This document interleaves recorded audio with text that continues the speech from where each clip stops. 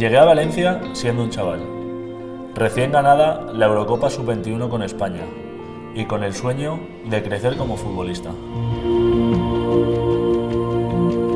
Con mucho trabajo y esfuerzo me tocó ir ganándome un puesto en el equipo, siendo fiel a mi estilo, queriendo siempre el balón, aprendiendo de los errores y tratando de mejorar de la mano de grandes compañeros y de grandes entrenadores con los que he tenido la suerte de convivir en el Valencia. Aquí llevo ya más de 300 partidos en los que hemos disfrutado del fútbol. Hemos competido contra los más grandes, hemos tenido buenos y grandes momentos. También hemos sufrido y hemos tenido situaciones complicadas, de las que hemos salido, porque como ya sabéis, el Valencia siempre se levanta.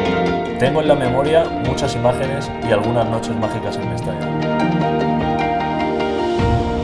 En todos estos años en Valencia también he ido creciendo como persona. Ahora ya soy un orgulloso padre de familia, de dos hijos valencianos y por supuesto valencianistas.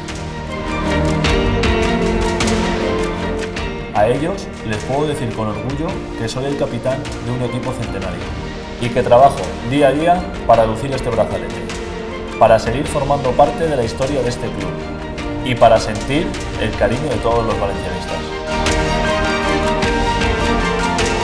Esta es mi casa y así lo siento.